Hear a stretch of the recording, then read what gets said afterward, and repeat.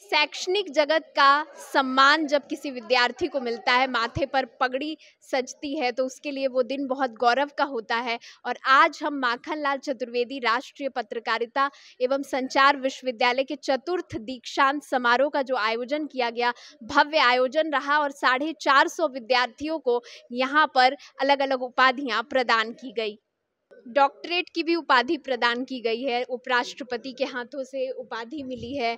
इस नवीन भव्य परिसर में आपका आगमन हुआ है तो मैं चाहूँगी कि आप अपने मन के भाव हमारे साथ साझा करें और पहले बताएँ कि किस बैच से आप।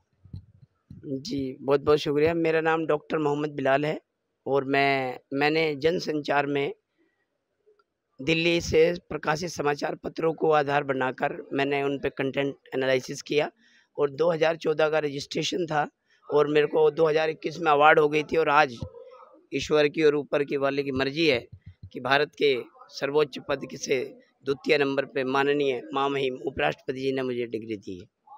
हमारे साथ एक और माखनलाल के ही पूर्व विद्यार्थी सिद्धार्थ ब्रिजपुरिया जी मौजूद हैं, जिन्होंने एमएससी इलेक्ट्रॉनिक मीडिया से अपना जो कोर्स है वो 2020 में पूरा किया था और आज उन्हें भी उपाधि प्रदान की गई है। तो सर, कैसा लगता है जब वापस विश्वविद्यालय में आप आते हैं और आपको एक डिग्री के लिए एक सम्मान मिलता है जो शैक्षणिक जगत का सर्वोच्च सम्मान होता है। वो जब आपके माथे पर ये पगड़ी सचती है तो अंदर मन में क्या भाव उमड़ते हैं?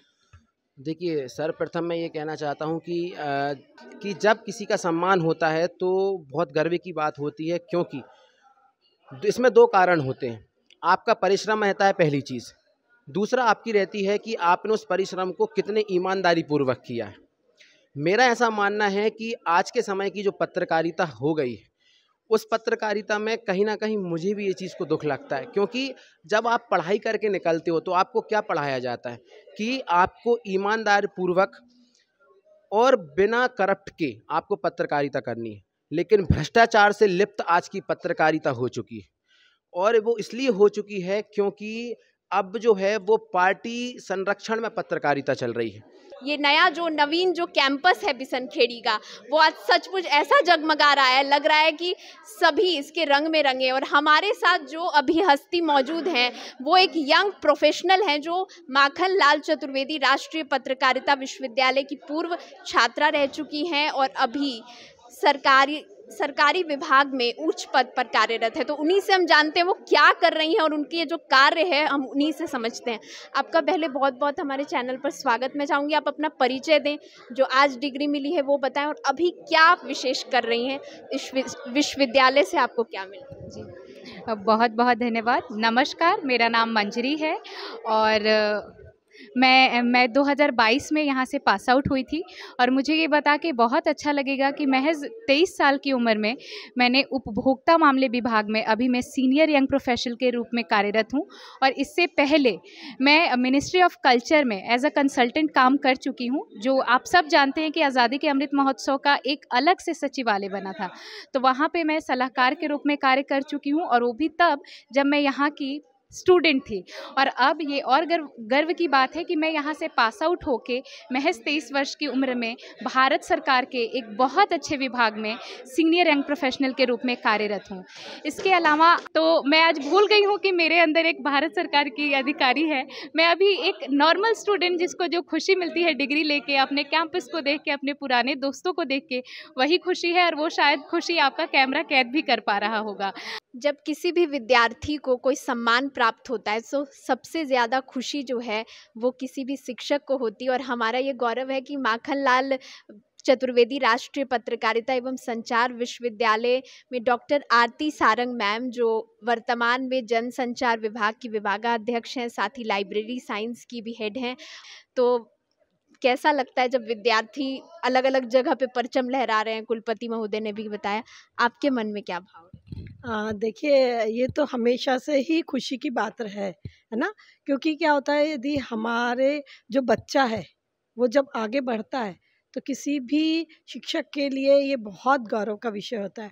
जब अपने पास आज जगह जगह से बच्चे आए हैं और उनको सम्मान मिला आ, किसी ने स्नातकोत्तर स्तर पे डिग्री प्राप्त करी किसी की पीएचडी की डिग्री थी कुछ तीन बच्चों ने मेडल भी प्राप्त करे। जब उनसे मिले तो एक तो वो पूरा पुराना सब कुछ याद आ गया।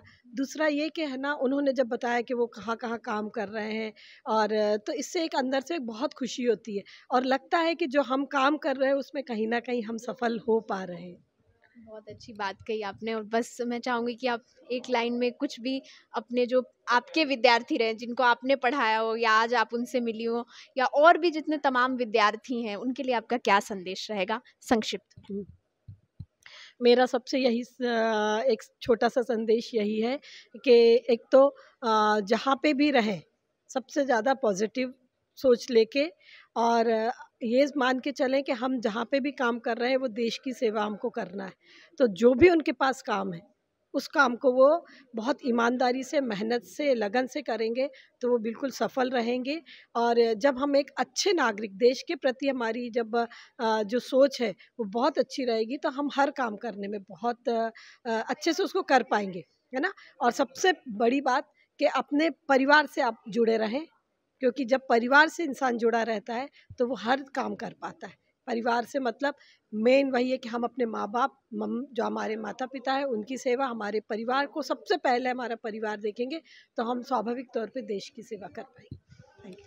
बहुत अच्छा लगा हमने आरती सारंग मैम से भी बात की और उनके भी विचार जाने इस गौरवमयी जो आज का ये पूरा आयोजन रहा, वो सचमुच अपने आप में बहुत ही अद्वितीय है और ये विश्वविद्यालय आगे भी इस तरह के आयोजनों का साक्षी बनेगा और विद्यार्थी यहाँ से अलग अलग जगह पर परचम लहराएँगे। इस खास पेशकश में इतना ही, मुझे दीजिए इजाज़त, नमस्कार।